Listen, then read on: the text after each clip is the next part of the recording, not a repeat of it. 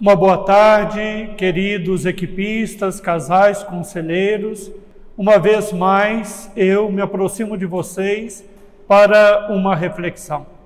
Agradeço imensamente a caridade de vocês, já tendo nos escutado, nos tolerado no tema de estudo, uma vez mais, vocês nos dão o seu ouvido, a sua atenção. Como nós refletimos no tema de estudo, existe uma missão que decorre do sacramento, do batismo, da confirmação, e esta missão tem um aspecto muito especial na vida do casal unido pelo sacramento do matrimônio. Se no nosso movimento o carisma está ligado à espiritualidade conjugal como caminho de santidade do casal, e a santidade é justamente esta amizade com Deus. E quem se torna amigo de Deus, o santo, santa, se torna também corresponsável pelo projeto de Deus. E neste tempo que nós estamos vivendo de pandemia, nós fomos chamados a muitas iniciativas a exercermos como missão não por gosto, mas por dever, exercer a nossa criatividade, para que o movimento continuasse realizando a obra que lhe foi confiada na vida de cada casal. E cada um de nós continua também chamado a não se deixar abater ou se esconder por conta da pandemia mas a descobrir caminhos para continuar anunciando a boa nova do reino de Deus. Por isso, a nossa reflexão nesta tarde quer nos ajudar a perceber aquilo que a igreja espera de nós equipistas, dentro deste panorama da pandemia. Estas reflexões que vou partilhar com vocês, nós tiramos de oito textos do Papa Francisco, que foram agrupados numa obra denominada Vida após Pandemia. Porque nós já começamos a pensar nos, naquilo que a pandemia vai provocar na vida econômica de tantas pessoas, na vida profissional, na vida da saúde psíquica e física e também na vida de muitos casais. Então, nós somos chamados a darmos uma resposta após a pandemia, dentro da nossa perspectiva de que somos, nas equipes, corresponsáveis, uns pelos outros na entreajuda.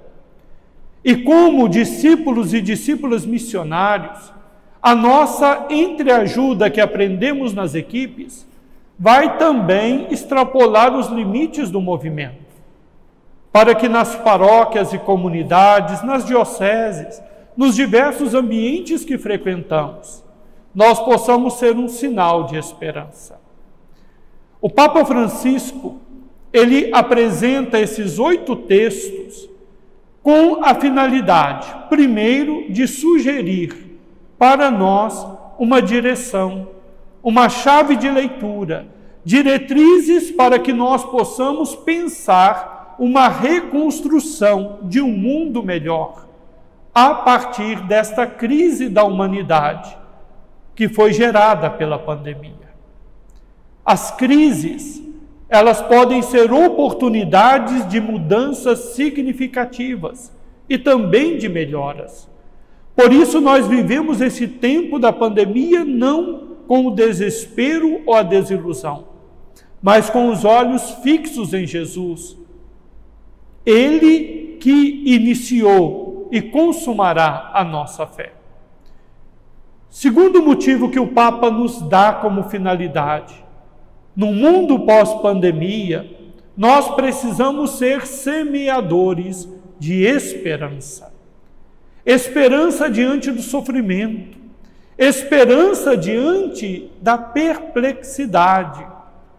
que as consequências da pandemia vão gerando na vida de muitas pessoas, mas não uma esperança qualquer, mas uma esperança pautada pela fé. O justo vive pela fé. A fé nos ajuda a perceber e entender coisas que nos parecem difíceis apenas com a racionalidade humana. Então, com o olhar da fé, com o desejo de semear a esperança, com a vontade de reconstruir um mundo melhor, nós temos que perceber as necessidades e os sofrimentos de muitas pessoas, nas diversas situações. Não podemos reduzir as pessoas a unidades a serem contadas, medidas e geridas pela economia. Precisamos unir as pessoas em humanidade e em espírito. Nós não podemos nos unir apenas em torno de projetos, mas em torno do ideal de sermos mais humanos, de sermos uma humanidade nova, renovada pela força do Espírito de Deus, que é o Espírito que nos faz amar. E quem ama sempre encontra um jeito de fazer a diferença, de ajudar. Quem não ama sempre procura uma desculpa.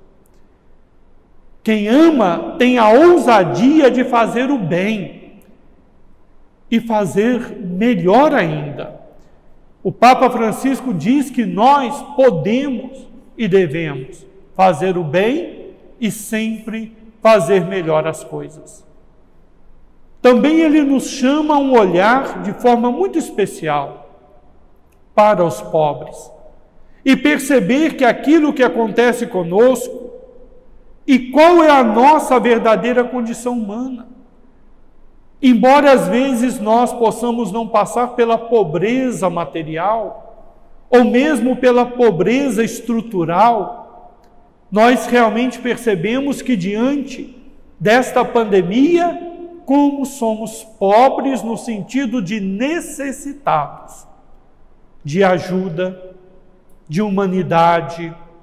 Então nós precisamos olhar para os outros e nos perguntarmos, diante da necessidade das pessoas, o que nós temos para contribuir materialmente, afetivamente, culturalmente, intelectualmente e espiritualmente.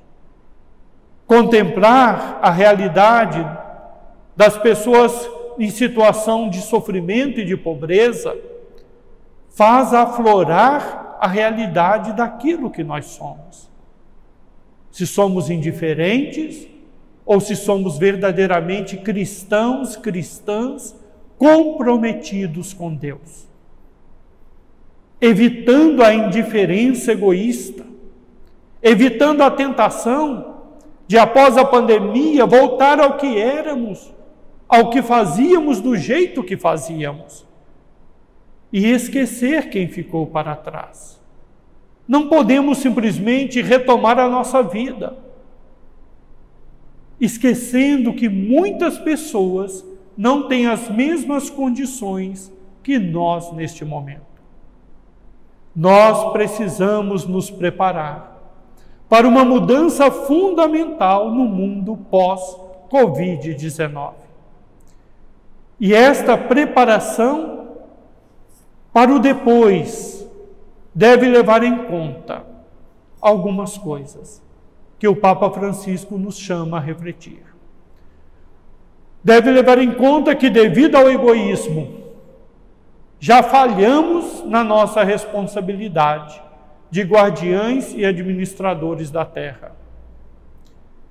O mundo era bom quando saiu das mãos de Deus, como diz o livro do Gênesis.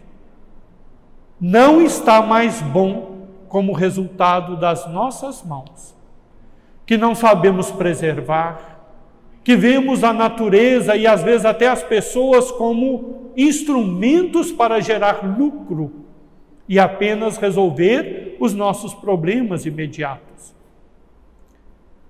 não existirá futuro, destruindo o meio ambiente que nos sustenta e ignorando as necessidades das pessoas mais frágeis e fracas. O meio ambiente e todas as pessoas compõem o habitat aonde nós vivemos e aonde nós nos santificamos. Como podemos querer ser santos desrespeitando a obra criadora de Deus, desrespeitando a presença de Jesus que se faz nas pessoas mais pobres e necessitadas. Meu querido irmão, minha irmã, o Papa Francisco nos chama a atenção. Precisamos mudar para algo melhor e não apenas retomar as atividades sejam as econômicas, relações humanas ou de trabalho. Precisamos valorizar os profissionais.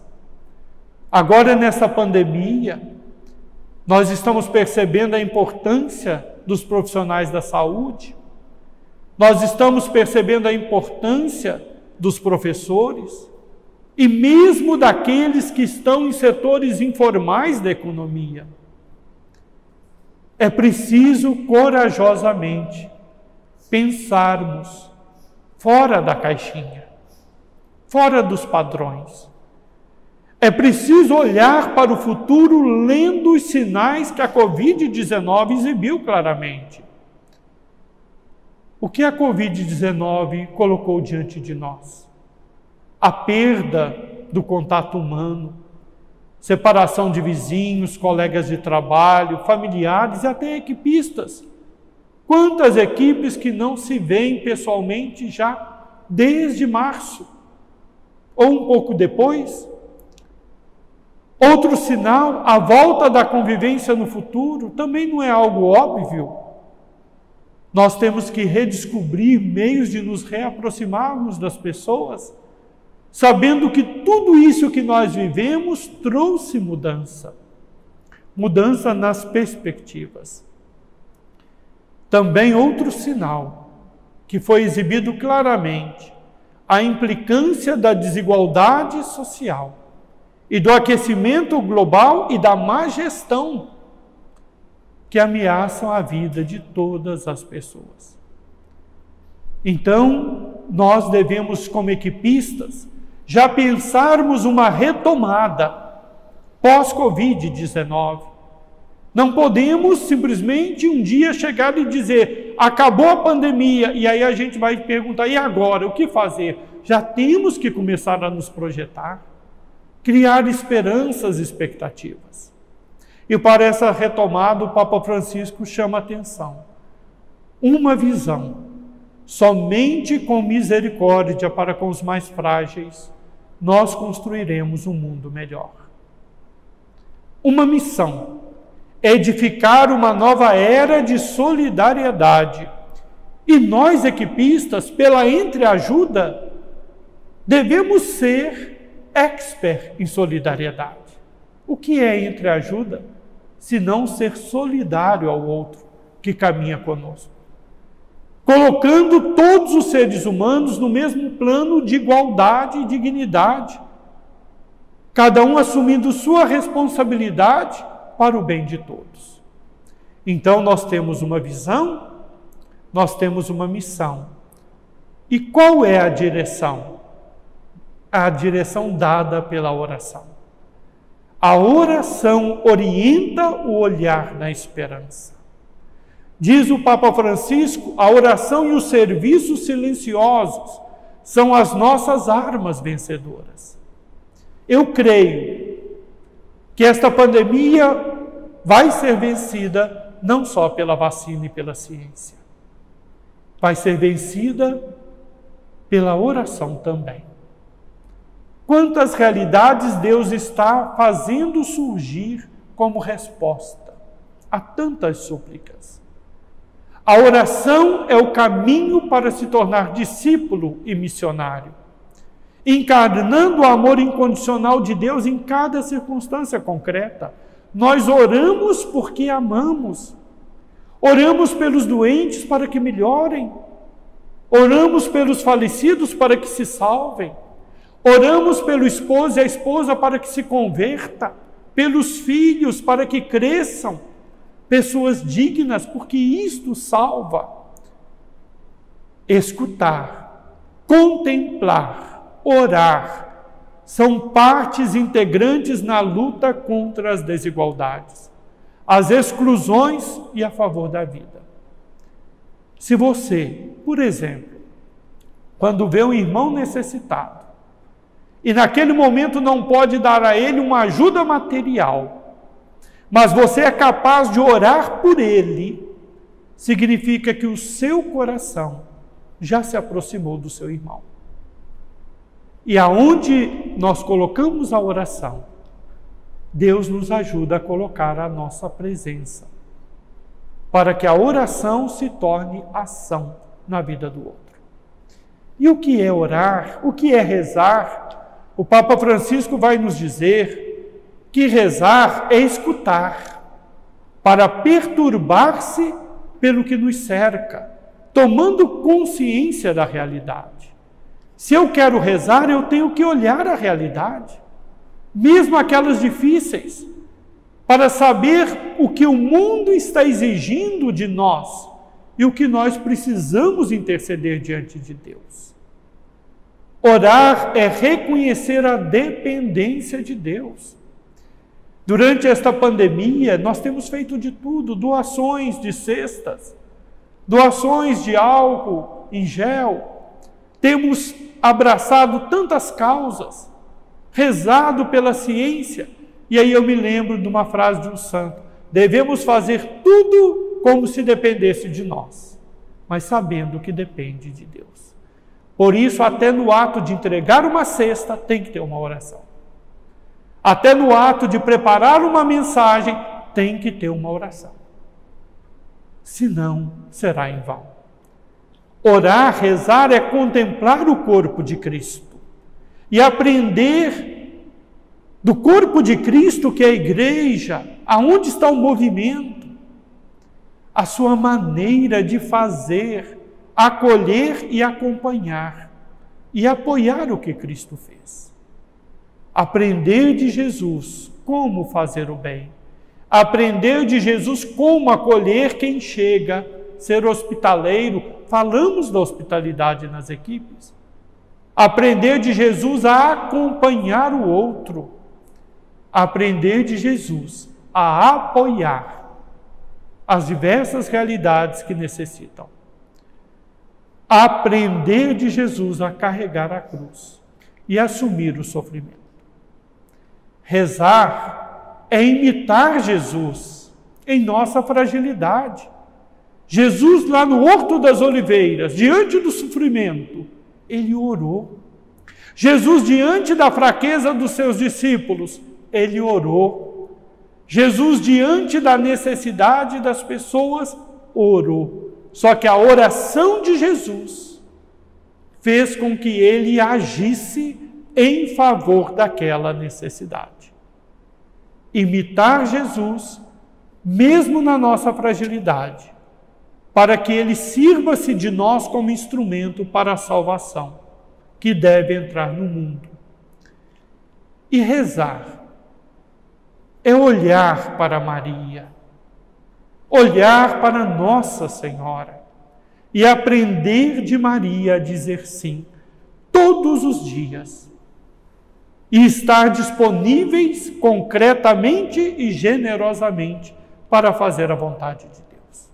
Nós equipistas rezamos todos os dias o Magnífica. Nós lembramos o fruto do sim de Maria. O poderoso fez nela maravilhas. O poderoso faz em nós maravilhas, santo é seu nome. Ele liberta, ele levanta e ele às vezes rebaixa alguns para que eles se convertam. Rezar o Magnífica é aprender as consequências de um sim dado com fé. Então, após essa pandemia, o grande convite retomar o caminho com uma nova direção, uma nova chave de leitura. Mas para nós equipistas, é retomar o caminho sabendo que não vamos fazer nada sozinhos. Façamos o caminho juntos. Cada casal com os outros casais da equipe, cada equipe com as outras equipes do setor, cada setor com os outros setores da região, cada região com as outras regiões da província, cada província com um único corpo sob a direção nacional. E cada nação, cada super-região numa única direção, que o movimento é mundial. Façamos o caminho juntos. E o movimento junto com a igreja. Os equipistas nas suas paróquias, nas suas dioceses, são a expressão missionária do movimento. A equipe, como equipe, não precisa assumir propriamente uma atitude se cada equipista assumi-la aonde estiver. Porque aonde estiver um equipista evangelizando, trabalhando na catequese, numa ação social, numa empresa, e ele ali estiver fazendo a diferença porque recebeu esta riqueza do carisma, o movimento ali estará também fazendo a diferença. Então, para o nosso movimento nesse pós-pandemia, temos alguns desafios. Reconhecer todas as experiências que nós fizemos nesse tempo. Esta mesmo agora, não podemos fazer do nosso Colégio Nacional presencialmente. Mas quem ama, acha um jeito. E nós estamos aqui. Talvez não seja o melhor, mas é um jeito. Como dizia Dada Maravilha, uma vez perguntaram para ele: Dada, mas você faz gol muito feio. Porque ele fazia gol, onde a bola batia entrava para ele, estava bom. Né, o Dada peito de aço. Aí o repórter falou assim: Você faz gol feio? Ele falou assim: Não existe gol feio, feio é não fazer o gol. Então, nada é pequeno onde o amor é grande. Então, essas experiências que nós vivemos, algumas coisas são passageiras. Um colégio nacional ou uma reunião de equipe não vai ficar desta forma. Pós-pandemia, nós nos reencontraremos. Mas existem experiências de solidariedade que podemos e devemos conservar. O que trazer das experiências feitas no tempo da pandemia para o pós-pandemia? Coletar os dados e as expectativas. O que espera de nós o mundo? O que espera de nós o movimento? acolher e apoiar aquilo que o movimento vai propor para cada um de nós. Nas províncias, nas regiões, nos setores e na sua própria equipe também. Buscar a unidade no meio de tanta diversidade de propostas, métodos e buscas para se manter o que tinha. O que nós aprendemos com esta pandemia sobre o nosso movimento? que o nosso movimento, ele tem um carisma e ele tem um caminho que não vai mudar. É um carisma próprio. Mas que o nosso movimento tem força para superar dificuldades. Quantas dificuldades a sua equipe superou nesse tempo de pandemia? E se já superamos isto, quanto mais podemos superar? Como podemos colaborar com as nossas igrejas? E eu quero ir finalizando essa reflexão, que já está longa, mas vocês são perseverantes. Vocês amam o movimento. Vocês amam ser equipista. Por isso que vocês conseguem encontrar um jeito de me aguentar, mesmo neste tempo todo. Mas eu queria agora partilhar alguns pensamentos. Eu queria dizer, pensar com Francisco. Algumas coisas que Francisco nos disse nos seus textos, nos convidando já a nos prepararmos para viver o pós-pandemia. Só podemos conseguir vencer juntos. e não cada um por conta própria. Não é à toa que nós não somos um grupo de casais com o padre, nós somos uma equipe. E a equipe conquista junto, luta junto, sofre junto, chega junto. Nós não competimos uns com os outros.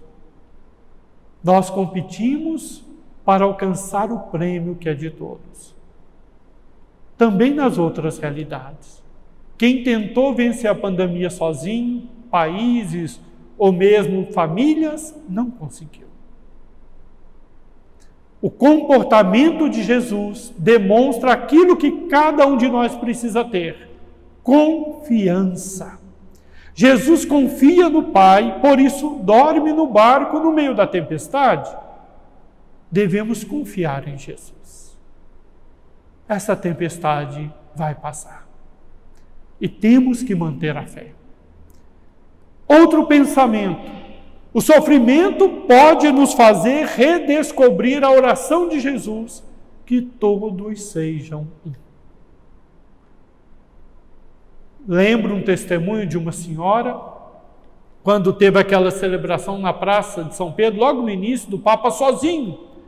E aquela senhora, uma senhora colocou lá, uma italiana, lá no, no, no, no link lá, o, o comentário dela. Eu que não tenho fé, eu que sou ate, a, a, ateia, me pego agora ajoelhada, chorando e rezando.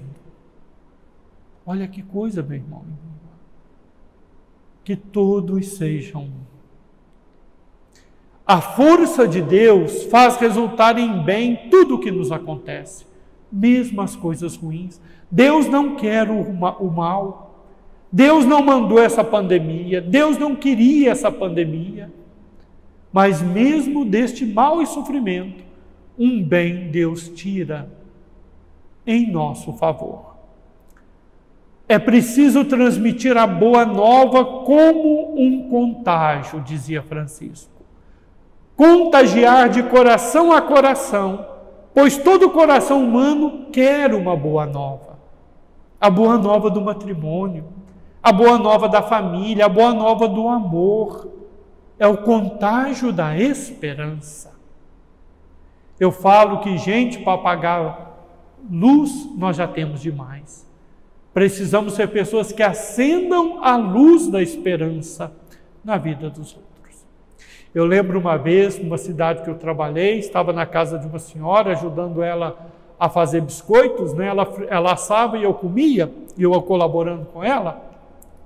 E aí tinha lá um rapaz que não era frequentador da igreja, né? mas ele estava lá.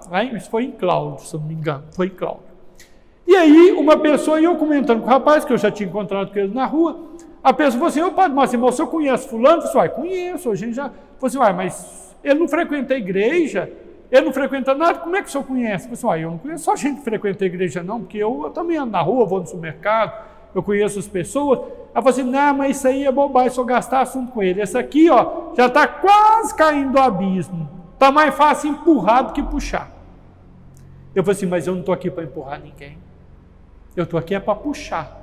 E se houver um fiozinho para ajudá-lo, é esse fiozinho que nós vamos usar. Transmitir a esperança, as pessoas podem melhorar. Deus é bom. E Deus não fez nada que não seja bom. Então, essa pandemia nos faz rezar até por aqueles que a gente não rezaria. Olha que mudança.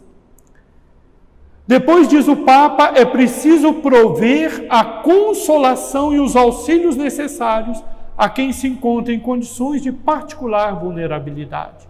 Precisamos descobrir no nosso movimento se existe um casal, uma família em situação de vulnerabilidade, em situação de necessidade, como consequência da pandemia. Depois precisamos ver também na nossa paróquia, na nossa comunidade, tentar prover consolo e auxílio entre ajuda material, como eu disse, afetiva e espiritual, para aqueles que estão mais fragilizados do que nós. Porque, meu irmão e minha irmã, nós estamos todos na mesma tempestade, mas não estamos todos no mesmo barco. Tem gente que enfrenta a pandemia numa canoa. Tem gente que enfrenta a pandemia no iate. A tempestade é a mesma para todos. Todos na mesma tempestade, não no mesmo barco. Existem pessoas que sairão dessa pandemia muito mais machucadas do que nós. E nós temos uma responsabilidade social e uma responsabilidade de fé. O Papa lembra: não é tempo para egoísmos, não é tempo de divisões, não é tempo de esquecimento dos outros e das emergências que trazem sofrimento. É agora a hora de curarmos com o Covid-19 a indiferença, o egoísmo, a divisão e o esquecimento. É preciso pensar no depois, sem improvisos, diante das sérias consequências da pandemia.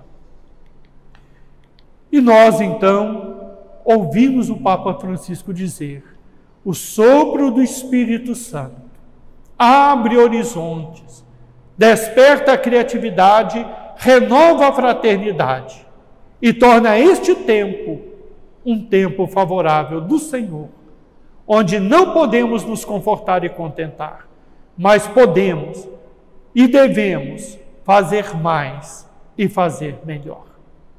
Você pode ser um equipista que faz mais e que faz melhor como equipista.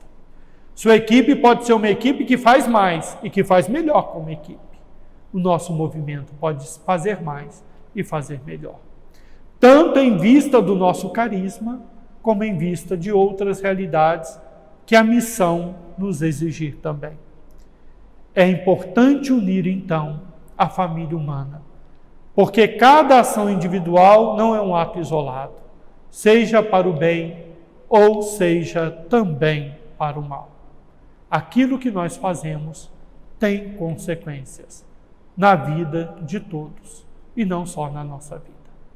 Por isso, querido equipista, coragem a tempestade vai passar e nós estaremos de pé, confiantes, consertando os nossos barcos e ajudando a socorrer aqueles cujos barcos naufragaram. Mas o barco nosso não naufragará, se nós mantivermos os olhos fitos em Jesus.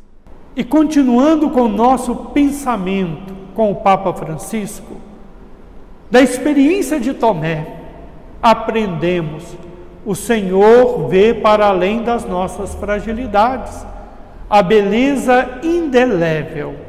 O Senhor, em Sua misericórdia, não abandona quem ficou para trás. Devemos aprender com Jesus. Quando ele aparece, Tomé não está lá, ele volta para que Tomé também desfrute da Sua presença.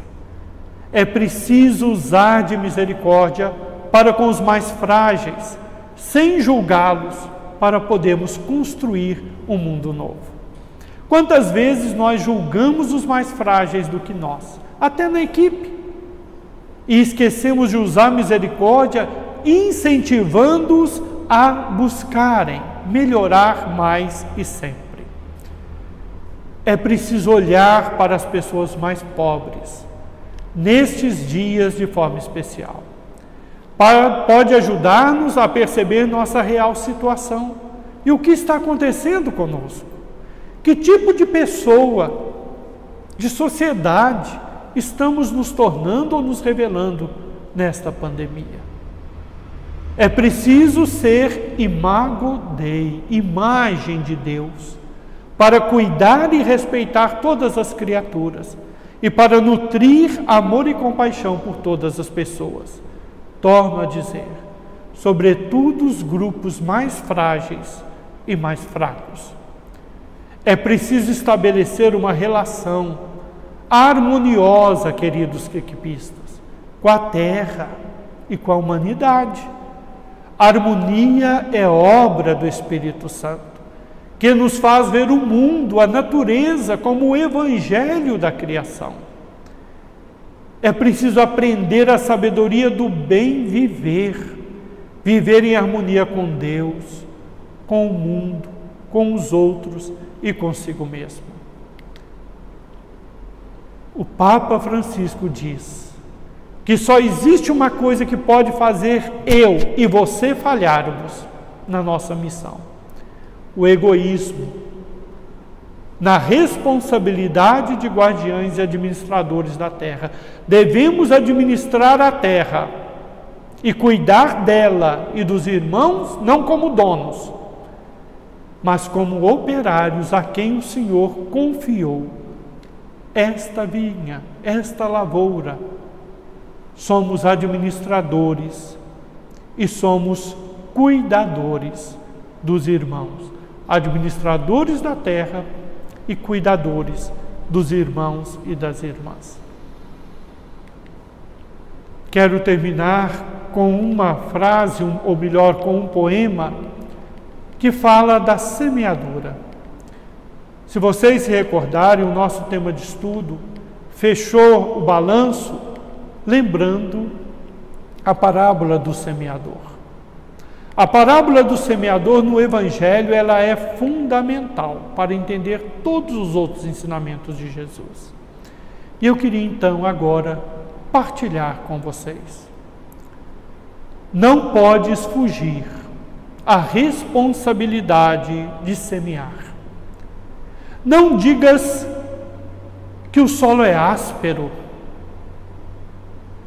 que chove frequentemente, ou que o sol queima ou que a semente não serve. Não é tua a função de julgar a terra, julgar o tempo. Tua missão é semear. A semente é abundante, porque Deus é generoso. Um pensamento na conversa certa, um sorriso no momento certo, uma promessa de alento, um aperto de mão, um conselho, um pouco de água, uma boa regra de vida. São sementes que germinam facilmente. Não semeis, porém, descuidadamente, como quem cumpre uma missão desagradável e quer que ela logo termine. Este é um grande erro, com fazer as coisas querendo acabá-las, começar pensando em terminar. Não nos permite desfrutar do trabalho que fazemos. Semeia com atenção, semeia com interesse, semeia com amor. Como quem encontra nisso o motivo central da sua felicidade. E ao semear, não penses: quanto me darão? Quanto demorará a colheita? Recorda que não semeias para enriquecer, aguardando o ganho multiplicado. Semeias porque não podes ficar inativo, porque não podes viver sem dar, sem doar, porque não podes servir a Deus sem servir aos demais. O Senhor é dono de ti, é dono da vida e do universo. Tua semente, pois, não cairá no vazio sem esperar recompensa, receberás recompensa. Sem esperar riqueza, enriquecerás. Sem pensar em colheita, teus bens se multiplicarão. E tudo porque semeias num reino, onde dar é receber, onde perder a vida é reencontrá-la onde gastar servindo é aumentar. Semeia sempre e em todo o terreno. Semeia no coração do teu cônjuge. Semeia na tua equipe. Semeia no teu setor, na tua região, na tua província. Semeia no teu movimento, na tua paróquia, na tua diocese Semeie em todo o tempo a boa semente com amor, com interesse, como se estivesse semeando o próprio coração. Se, pois, querido equipista, querida equipista, casal, conselheiro, acompanhante. Se, pois, um semeador e uma semeadora. Que Deus nos ajude, que Deus nos abençoe a atravessarmos esta tempestade com coragem, com fé, com amor e com esperança. Muito obrigado a vocês por mais uma vez terem tido a caridade de escutarem esse pobre bispo. Deus os abençoe. Um grande abraço.